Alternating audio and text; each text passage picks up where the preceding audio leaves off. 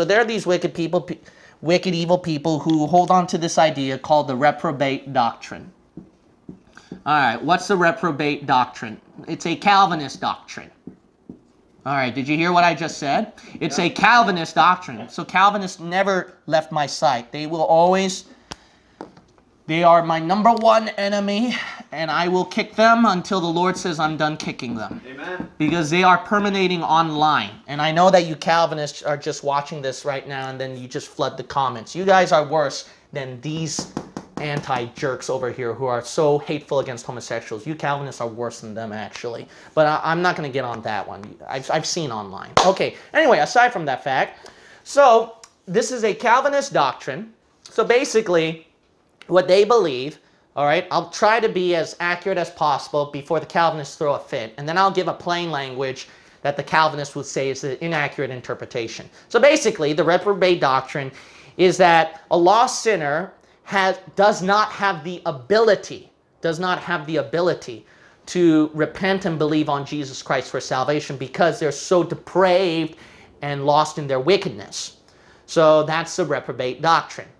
Now, the thing is this, is that, so there's this group of cultic pastors, there's this weird cultic pastor that have their little weird conference, and then their weird little conference, they want to do this to get publicity from the news. How do you know that? Because they deliberately scream on top of their lungs so that whenever the news camera catches on to them. Yeah.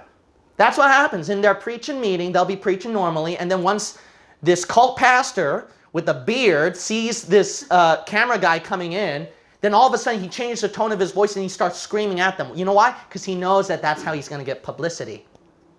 See, so these people, it shows how desperate they are for attention. They're truly internet media losers. Amen.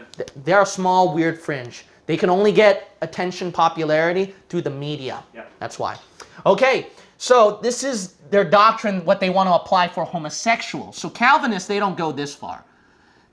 Calvinists know that homosexuals can get saved. But these weird cultic fringe, so let's call them cultic pastors, they take this reprobate, they take this reprobate doctrine from the Calvinists, and they want to apply that to homosexuals automatically.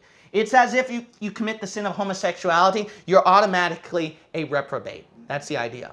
Now, what do we Bible believers believe in? We do believe there is such a thing that God can give you chance after chance after chance, and then the Lord will give you up we do believe in that fact. Sometimes a person is so far down into sin that there's nothing you can do or even what God will do. Why? Because God believes in free will.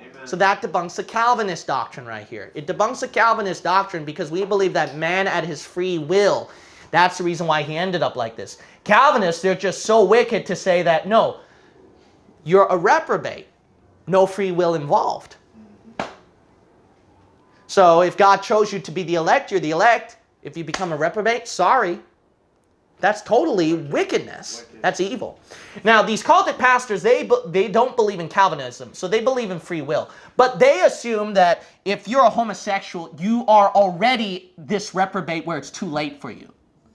So that's where Calvinists and these guys differ. Now, we're going to debunk both of these heretics, okay? So let's look at Romans chapter 1.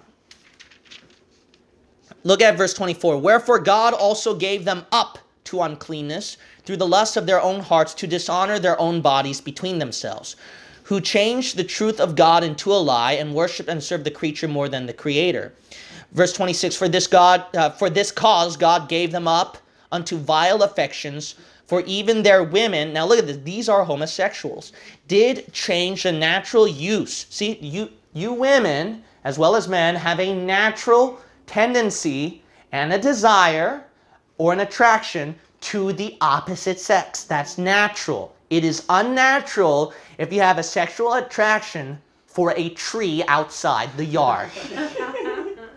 now let's keep reading here. Into that which is what? Against nature. See, it's not nature. So it's not scientific. That's what God even pointed out. Your Bible's a scientific book. God knows what's scientific, what's not. Verse 27 And likewise also the men, leaving the natural use of the women, burn in their lust one toward another. Men with men, working that which is unseemly, and receiving in themselves recompense of their error which was meet. And even as they did not like to retain God in their knowledge, God gave them over to a reprobate mind to do those things which are not convenient. See that? So God gave them up. Now, what's our answer to this? Our answer to this is pretty simple right here. So we do believe that there's such a thing as too late where God can't do something, where we can't do something. But here's the idea. The idea is, uh, I'm trying to think of a different color here. Okay, here we go. So when God gives up,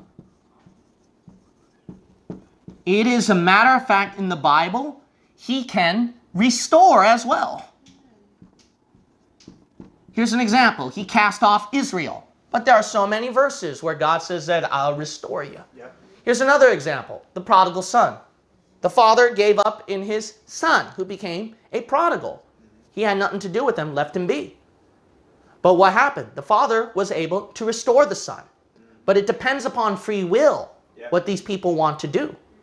So here's something. We believe that they can be so down, depraved into wickedness. We believe in that. And because they are at that point, it's useless what we can do, what God can do. And they can defile their conscience so much to a point. But you got to understand this. What you got to understand is that there are cases of homosexuals, Satanists, and so many people yeah. who you would think to be reprobate, yeah. but then they got saved in the Lord Jesus Christ. So you know what the answer to this is? The answer to it is that we don't know who's reprobate. That's the idea. We don't know who's reprobate. And not only that, we don't know what's going to happen later on in life. Things happen, things change.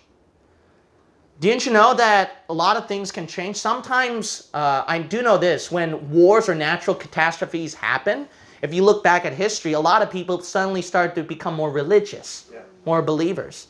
So you don't know what's going to happen that can change people, see? All right, here's another thing right here.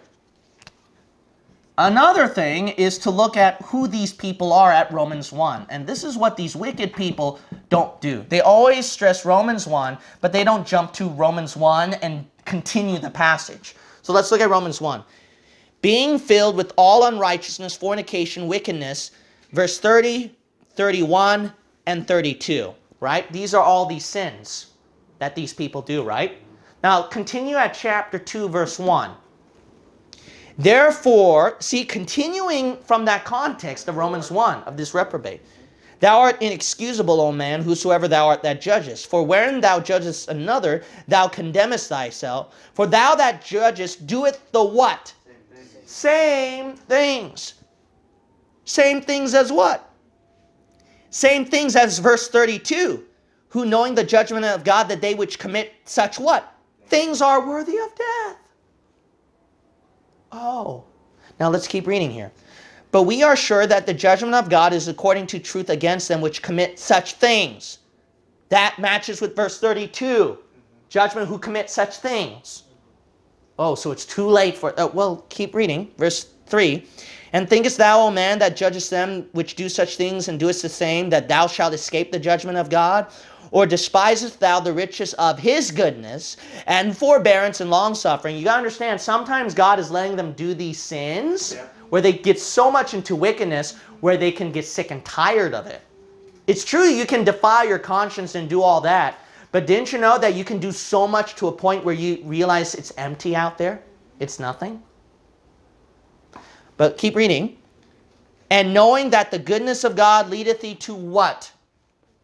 Oh, did you read that? Did, oh, let's hear that again. It's what again? Repentance. Is that right? Yeah.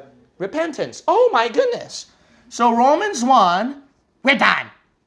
Do such things are worthy of death. So let's kill all the sodomites. Yeah, I thank God that those people got killed at Orlando. You wicked, evil yeah. person that you are. You are full of the devil because that could have been you.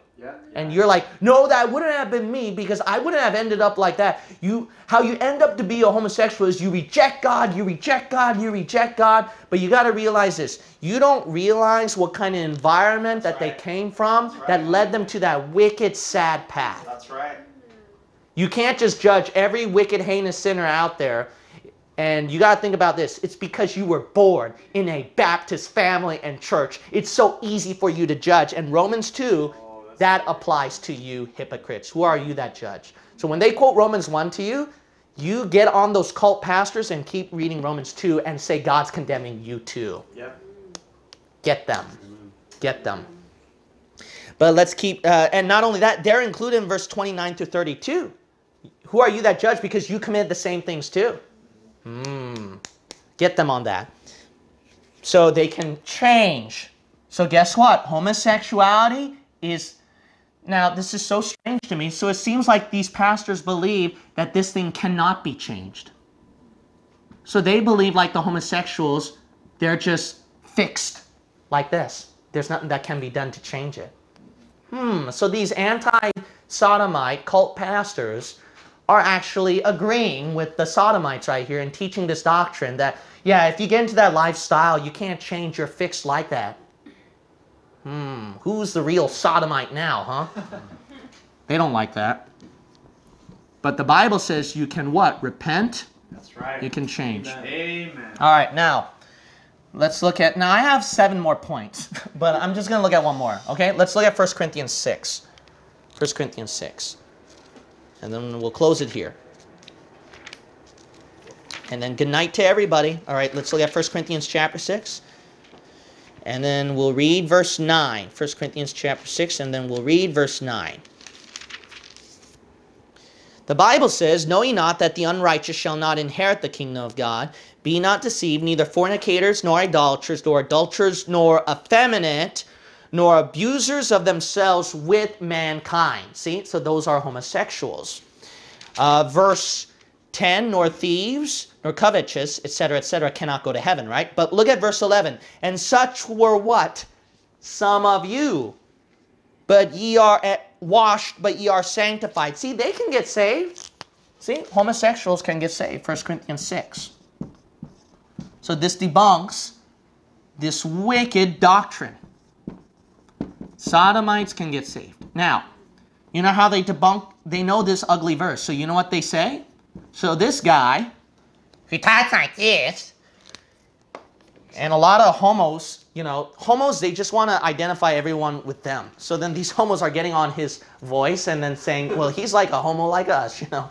So it's just, um, it's just ridiculous. It's a circus, these homosexuals fighting with these uh, anti-sodomite cult pastors. It's just a circus, man. But anyways, so this cult pastor, what he's going to use is that, well, what is the nor abusers of themselves with mankind is actually referring to a forcible, uh, it's forcible, it's kind of like man rape, so to speak, let's just say, okay? It's man rape. So then there are these children who, unfortunately, which is true, I'm not saying it's all cases, but there are cases in which it is true. And if you don't believe me, just look at the prisons, okay? Just look at the prisons and see, you know, those who were sexual predators, what their uh, where they commit sodomy. All right, and it was forced too. Yeah. Okay, so anyways, let's just resume. The point is, is that some of these unfortunate children were forced into this relationship Oh, by yeah. the sodomites, Wow. and then even raped. Yeah. So then what they will claim is that, no, this is referring to man rape right here at verse 9. It's referring to that case. It's not referring to abusing themselves, uh, their own body with uh, other, with the same sex. But here's the idea is that if you, uh, I'm not going to debunk this. All you have to do is look at Romans 1. Abusers themselves with mankind. Look at Romans 1, your favorite passage, and it shows that they, what? They abused the natural use and their ordinate affection. But look up abuse and look up mankind and see if that does not refer to sodomy. Okay? But aside from that fact, let me give you one chilling argument that's going to disturb these anti sodomite pastors. You know what you guys did? You guys are quoting homosexual priests and homosexual so called Christians who want to justify their sin by saying this verse is not referring to homosexuals, mm. this is referring to man rape. Yeah. Now, where did you learn that argument from? That's right. That comes from a sodomite mind. Mm-hmm. Who's the sodomite now?